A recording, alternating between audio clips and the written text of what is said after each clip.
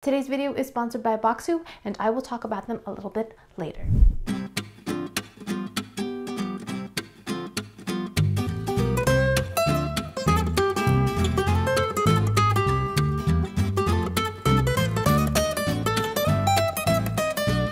Greetings, my beautiful lovelies. It's Emmy. How are you? It's great to see you, and welcome back. So today we are going to be testing out a gadget I found at the thrift store. And it is this. This is the M'sieur Crepe electric crepe maker by Sunbeam. I found this at Savers and I paid $13.49 for this. And it has certainly seen better days. This is the original box. And from its packaging, it looks to be late 70s, early 80s, but pretty much everything is in here.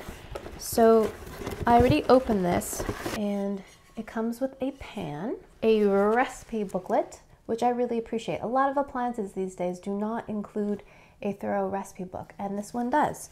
And what I appreciate is there, there are thorough instructions in here on how to use it properly, lots of illustrations, and it includes recipes. Look at the table of contents, recipes that are specific for this machine. I'm going to be making the basic dessert crepe today, but you could also make a fiesta dinner. You can make an Italian dinner, Polynesian dinner.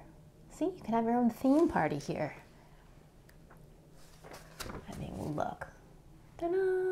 All with this crepe maker. What else is in here? Okay, so here is the appliance itself. And this is what it is. It's basically just a heating unit. This gets hot and it has temperature control there, thermostat, a plug, and oh, I even have the original piece of paper that stuck to the bottom of this pan. And then I have a handle. Now we're just going to insert the handle in here. I think we are. Do we have to assemble this? Come on now, really? Oh my. So we do have to assemble this a little bit. I'm using a spoon to affix my handle to my pan. Okay, we are assembled. We have the pan. So this pan is reversible. You can use this to cook an omelet, but you can use this side, which you'll be using to cook the crepe. Isn't this interesting? We're going to be dipping this pan into the batter and cooking on the bottom of this pan, or in this case, the top. So that's basically it for the machine. Now let us make the batter. I'm going to be using the basic dessert crepe recipe that's included in this pamphlet, but it also includes entree crepes as well. Crepes, crepes, crepes, crepes, crepes. So in the my bowl, we're gonna combine all the wet ingredients first. So I've got some milk, I've got some water, butter, that was melted, but so chilly it's solidified a bit. Salt, sugar, a little bit of vanilla,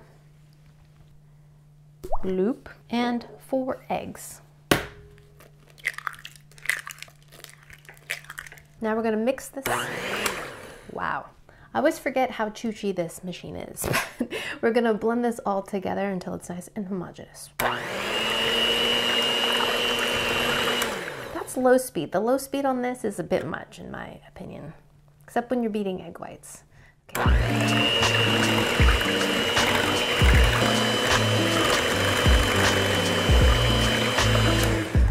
Now that our wet ingredients are combined, we are now going to slowly add our flour.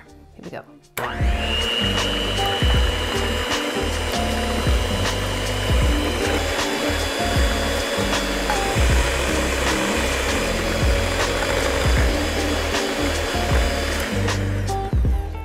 All right, that was very easy.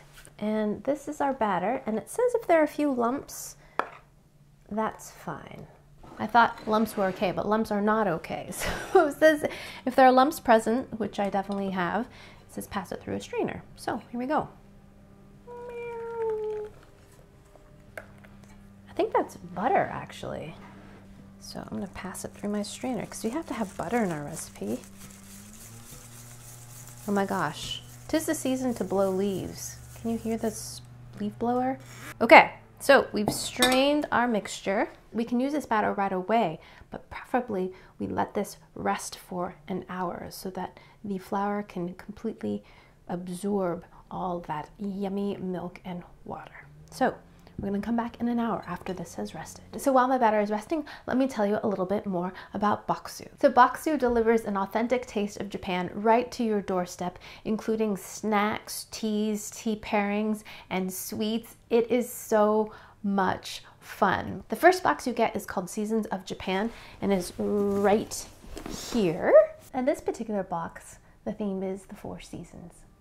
And then snacks to represent each season. So I lived in Japan for a couple years and my favorite way to learn about the culture was to eat it. And there's so many wonderful things to eat ranging from small snacks to treats to sweets to beverages and of course main dishes. And Bokksu is a wonderful way to get a little slice of that right at your doorstep. So in this box we have little biscuit snacks, white strawberries, a packet of green tea. Oh, look at this one.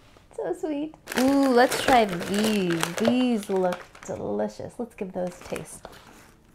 And here's what a snack looks like. Got some nori seaweed on one side and then some crispy bits on the other. Alrighty, let's give that a taste. Itadakimasu. Mmm, great big crunch. Mmm, briny, seafoody flavor kind of akin to a shrimp snack if you've ever had one of those. Uh, but unlike shrimp snacks, this has a firmer, crisper crunch to it rather than kind of an airy bite. So good. Salty and just a little bit sweet, but seaweedy and tangy.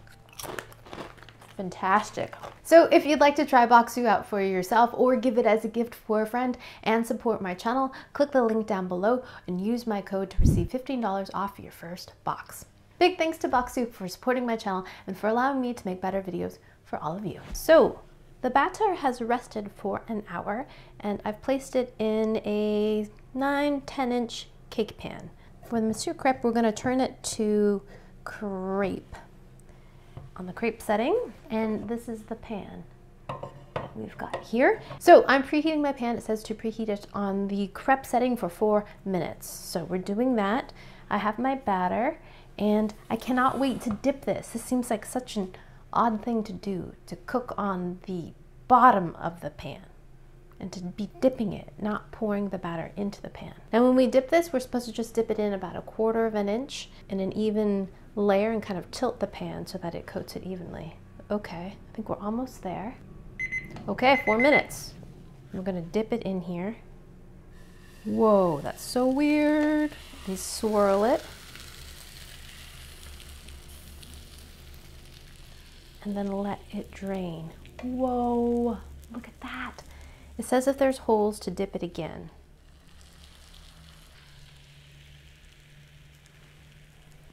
And let it drain.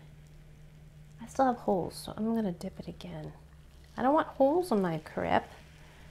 Okay, and then let it drain. Look at that. So weird. And then once it's drained, we put it onto this. I still have tiny holes though. Why do I have tiny holes?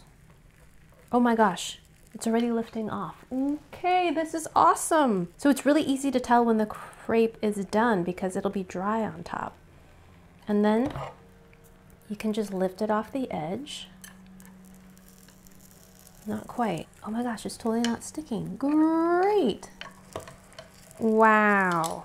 I got it on the handle a little bit, so it's sticking right there, but not anywhere else. Oh, it's beautiful. Okay, plate. Oh, let me actually put it on the cake stand. Okay, I'm gonna flip it onto this cake stand so you can see the results.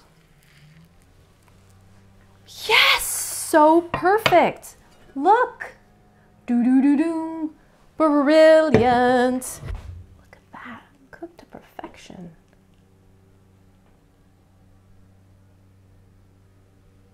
Okay, let's make another one. And I thought this was gonna have holes in it based on my dipping, but there's no holes in that at all. That's perfect. All right, let's make another one. Dipsy, swirl, and then allow the excess to drip. Okay, that one stuck better. That one was better in terms of not having too many holes. Okay, this is great.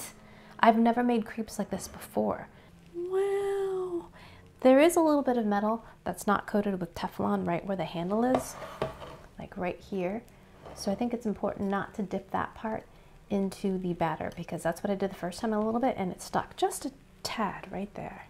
And then we just take this and we invert it on top of this one and then it should just slide off and it does. Look at that! Perfect! Perfect crepe, perfect! Oh my goodness, this machine works great! Okay, let's do this again. I'm a crepe making machine.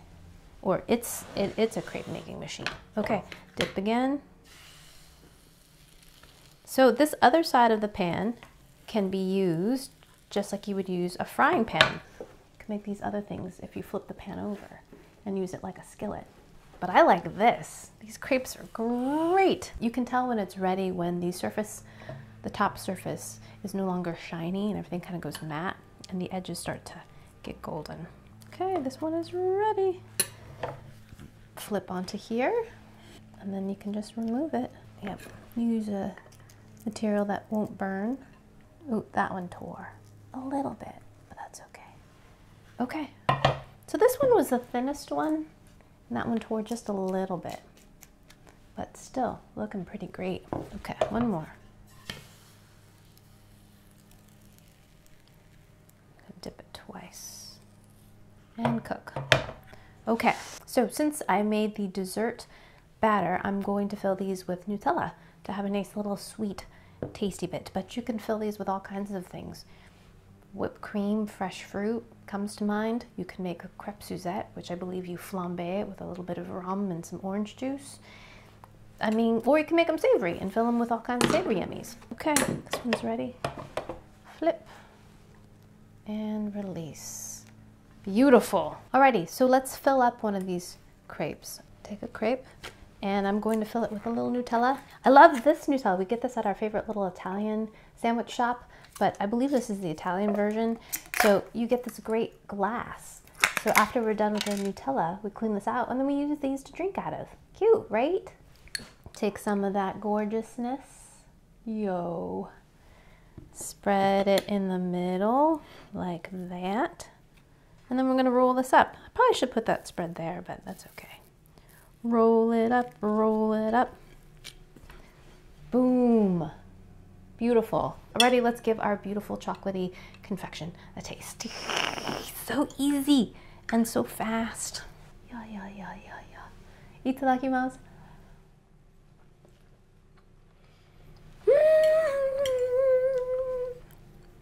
Oh, that's so good. Mmm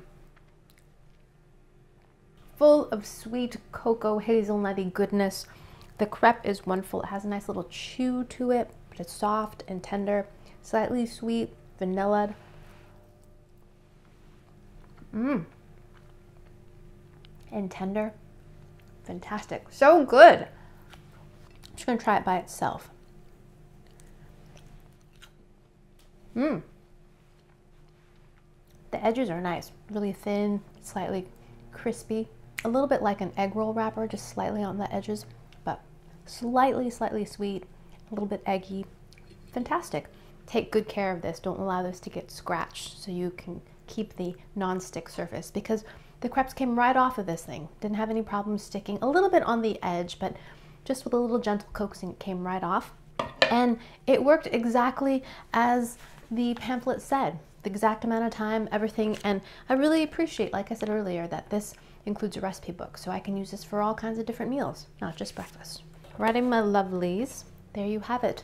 The vintage Sunbeam crepe maker works like a charm. Thanks so much for watching and big thanks to Bokksu for sponsoring this video. If you'd like to try Bokksu for yourself or give it as a gift and support my channel, click the link down below and use my code to receive $15 off your first order. Thanks so much for watching. I hope you enjoyed that one. I hope you learned something. Please share this video with your friends. Follow me on social media, like this video, subscribe, and I shall see you in the next one. Toodaloo, take care, bye!